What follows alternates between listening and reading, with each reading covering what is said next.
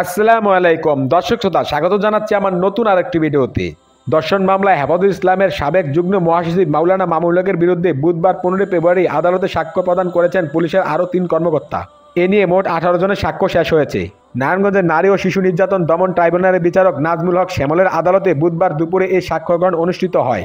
আদালতে সাক্ষ্য দেওয়া পুলিশ কর্মকর্তারা হলেন সোনারগাঁও থানার এএসআই কর্ণকুমার শেখ ফরিদ ও মতিউর রহমান।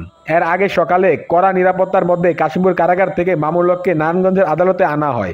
সাক্ষ্য গ্রহণ শেষে কঠোর নিরাপত্তা তাকে গাজীপুরের কাশিমপুর কারাগারে পাঠানো হয়। রাষ্ট্রপক্ষের সরকারি কৌশলী রকিবউদ্দিন জানান, আজ তিন পুলিশ কর্মকর্তা সহ আঠারো জনের সাক্ষ্য গ্রহণ শেষ হয়েছে। সাক্ষীরা আদালতে জানিয়েছেন, মামলার বাদী জান্নাতারা ঝর্ণা, তাদের বলেছেন মামুলক ওই নারীকে বিয়ের প্রলোভন দেখিয়ে দর্শন করেছে। এর আগে মামলার বাদী পুলিশ কর্মকর্তা রয়্যাল রিসোর্টের কর্মকর্তা কর্মচারী যুবলীগ, ছাত্রলীগ, নেতা ও স্থানীয় বাসিন্দারা তাদের সাক্ষ্য প্রদান করেছেন। আসামিপক্ষের আইনজীবী A K M Omar Faruk Nayan বলেন, আজ পুলিশের তিনজন এএসআই সাক্ষ্য দিয়েছেন।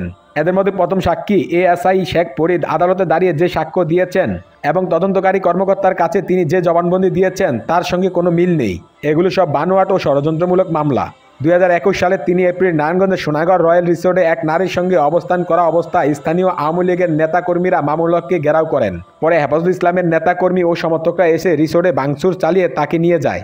তিরিশে এপ্রিল সোনারগাঁও থানায় মামুলকের বিরুদ্ধে দর্শন মামলা করেন তার সঙ্গে থাকা ওই নারী। কিন্তু মামুলকের দাবি, ওই নারী তার দ্বিতীয় স্ত্রী।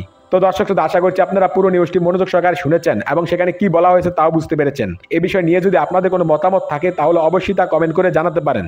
ভিডিওটি এ পর্যন্তই, দেখা হচ্ছে পরবর্তী ভিডিওতে। সে পর্যন্ত সবাই ভালো থাকবেন, সুস্থ থাকবেন। আল্লাহ হাফেজ।